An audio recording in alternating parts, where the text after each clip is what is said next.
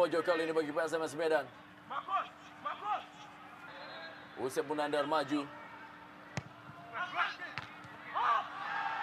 Begitu juga dengan seorang Marcus Horizon yang telah maju ke depan.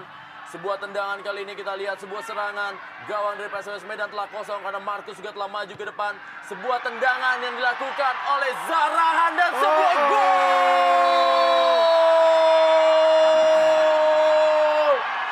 Zarahan Perhatian.